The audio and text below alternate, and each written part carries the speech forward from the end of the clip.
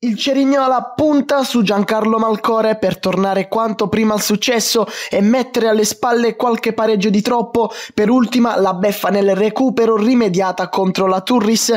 L'attaccante infatti non ha ancora digerito i due punti persi al Liguori. Diciamo che è mancata un pochettino, un po' quella fortuna e, e quella cattiveria nel mantenere e volere a tutti i costi un risultato. Domenica sera al Monterisi arriverà il lanciatissimo Picerno per gli Ofantini, una grande occasione per rilanciare le proprie ambizioni.